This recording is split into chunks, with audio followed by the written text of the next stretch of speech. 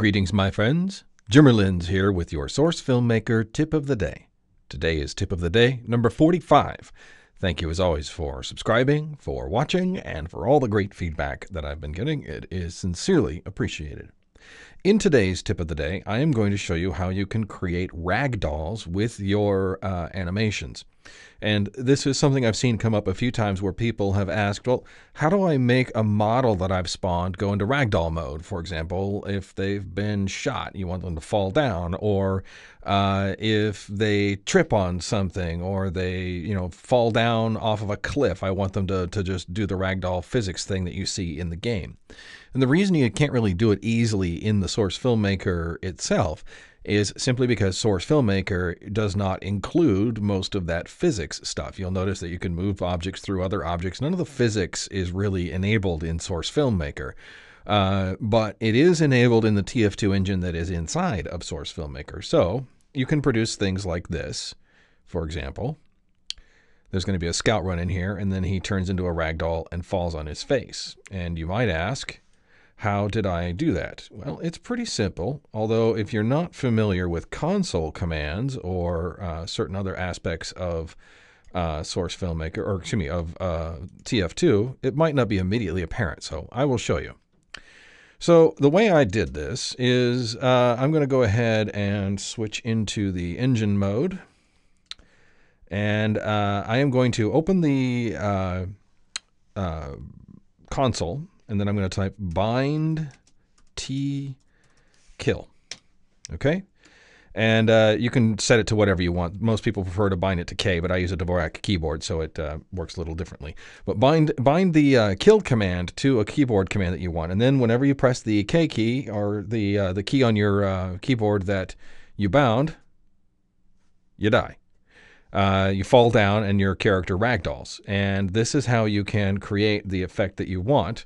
So what I'm going to do is I'm going to go ahead and close this, and I'm going to hit the uh, the record button again.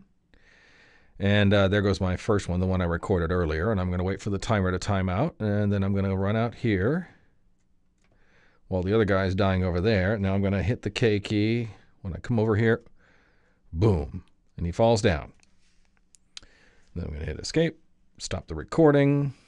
I'm going to switch the camera again. Actually, I'm just going to switch to the work camera. And we'll just watch from over here, he said.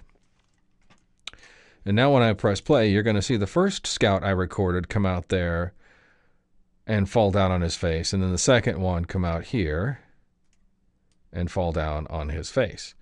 So this is the kind of thing that you could use in conjunction with statically animated models uh, to create these ragdoll effects. Um, like, for example, if you wanted somebody to trip over a rock on the ground because you're making a funny video, you just have them walking along or something like that, and then you can record yourself uh, doing this and then you could blade in that shot or you could blend them together so that you can connect the existing one to the new one.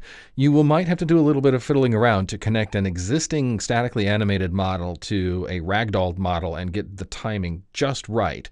Uh, but it is definitely doable, especially if you uh, can take advantage of a little bit of camera trickery.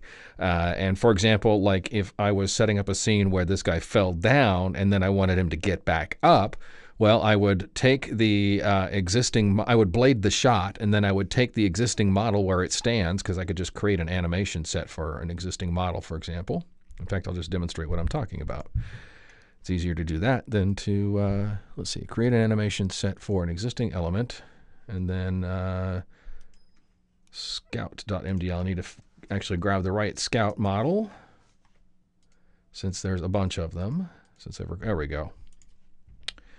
And now, uh, let's say that I wanted him to get up after he fell down. Well, I might wait until he stops moving. And then I can blade the shot right here. And then uh, I can go into here and I could get him to, and I'm just going to do something very simple here. I could get him to move and stand up, although that's that's really horrifying actually. But uh, you get the idea, which is that uh, I can go from he's down here and he's fallen down and I can make him, I can animate him. I just did a quick have him stand up kind of thing, just changed his orientation in space. But the point is, I don't even have to do anything special with this. I can, uh, um, let me just control Z all this. I could even go so far as to just make him, for example, move his arm uh, like he's about to get up. Where is it? There it is. His right hand. Well, he doesn't have a rig applied, so I'm not going to bother with that right now. The idea, though, is that this is a regular model. It's just not in the in the static pose that you're normally familiar with when you create an animation set for a model. But uh, I could then animate this as I saw fit and make it stand up. I could animate it walking around. He could get up and dust himself off, walk over and pick up his uh, his scatter gun and and start running again. All of that is possible uh, to do. So.